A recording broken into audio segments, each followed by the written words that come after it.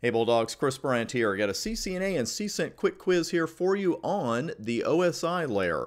I'm going to move this screen out of the way in just a moment and have another screen right behind it.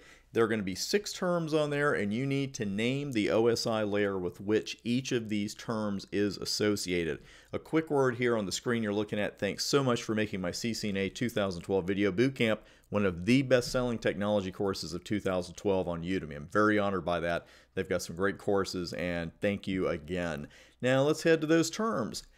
Physical addresses, segments, HDLC, frames, frame relay, and cables.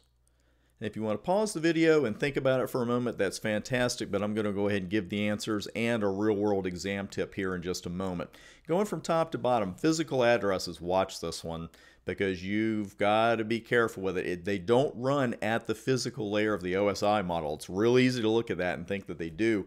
But physical address, that's another name for a MAC address, and that runs at the data link layer of the OSI model. Segments, that's where we're going from top to bottom and we're starting to segment the data, no pun intended, and the segments are where we're going to find those at the transport layer. Now, HDLC uh, doesn't get much respect in the Cisco world or the CCNA world or the CCENT world for that matter uh, because just about all we do with HDLC is know that it's the default encapsulation on a serial interface, and then we usually go ahead and change it uh, for obvious reasons. So, uh, but HDLC does run at the data link layer. Uh, frames, you're going to find those at the data link layer as well as frame relay. Uh, because frame relay, of course, is one of the encapsulations we usually use instead of HDLC. Finally, on this particular list, we've got cables, and you might say, well, Chris, that's pretty vague. We have many cables. Uh, and we do, but they all run at the physical layer. Anything you can hold in your hand like that, uh, like a cable, is going to be at the physical layer of the OSI model.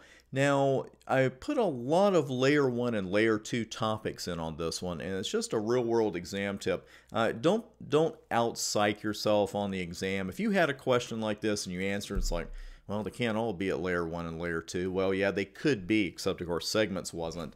Uh, but just watch that. Don't psych yourself out. If they show you a list of 10 things and you know they're all at the physical and data link layers, then by golly, just make those answers, make the calls, and pass that exam. Thanks for taking today's CCNA and CCENT quick quiz. I'm Chris Bryant. Thanks for making TBA and Udemy part of your CCNA success story.